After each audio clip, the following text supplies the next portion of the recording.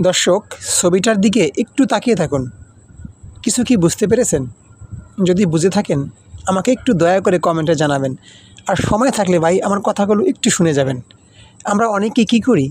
আমার বউকে কিংবা আপনার বোনকে, ভাবিকে আমরা আজে বাজে পোশাক পরিয়ে সুন্দর মতো পরিপাটি করে বাইরে নিয়ে যাই। ভাই, এই যে আপনি আপনার বউকে বোরকা ছাড়া, ওড়না ছাড়া বাইরে নিয়ে গেলেন, আপনার বউকে হাজার হাজার মানুষ দেখল। কী নজরে দেখল, সেই যে ছবির ভাষাটা কিংবা সেই চাহনিটা কিন্তু এই ছবিতে ফুটে উঠেছে। দেখুন মানুষগুলো এই যে একেবারে কি বলব, চাতক পাখি পাখির মতো তার বুকের দিকে তাকিয়ে আছে।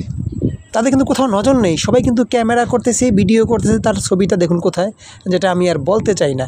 এ হলো পরিস্থিতি, এরকমই তো। আপনি যদি আপনার ওয়াইফকে নিয়ে বাইরে যান, খারাপ পোশাক পরান, অশ্লীল পোশাক পরান, আজকাল খারাপ বোরকাও বের হয়েছে, যদি বোরকাগুলো পরান।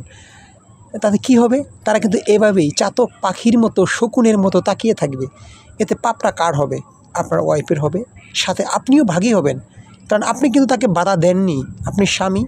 আপনার অধিকার ছিল তাকে বাধা দেওয়ার। কিংবা আপনি ভাই, আপনার অধিকার ছিল আপনার বোনকে বাধা দেওয়ার। আপনি দেননি।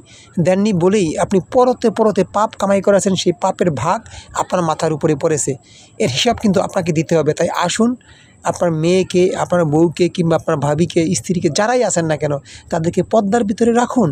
কারণ যখন সে খারাপ পোশাক পরে, অশ্লীল পোশাক পরে সে বাইরে বের হবে, মানুষ কিন্তু এভাবেই তাকিয়ে থাকবে। কারণ মানুষের চোখ শকুনের মতো।